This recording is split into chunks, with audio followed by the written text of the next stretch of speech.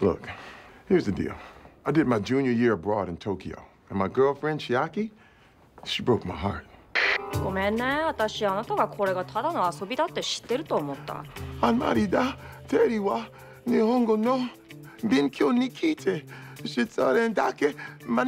Eh? i stared at the paper walls for weeks until my roommate showed me how to vent my feelings. Hmm. Oh, take a plate and smash it. Oh. Feels good. Yeah. All right, your turn, Boyle. Okay. Vent those feelings. Okay, here we go, Sarge.